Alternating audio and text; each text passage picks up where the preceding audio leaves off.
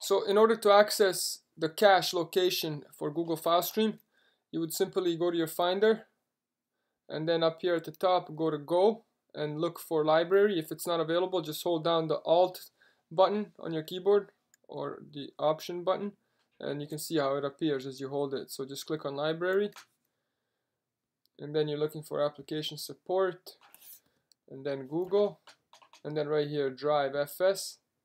So uh, if your Google file stream is slow and it's constantly syncing, uh, you want to delete this uh, folder here. So as uh, we said in a previous video, this folder uh, right here is where the cache files are stored. However, we can't see the files here, only Google File Stream can as they're encrypted.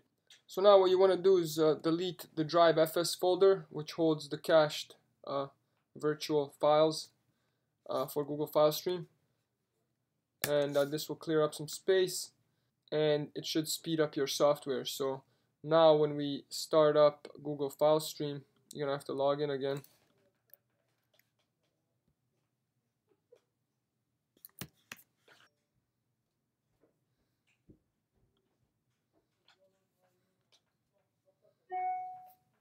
And now you have a clean software and Google File Stream will start syncing the software again so now it should be nice and clean and your CPU should be fast.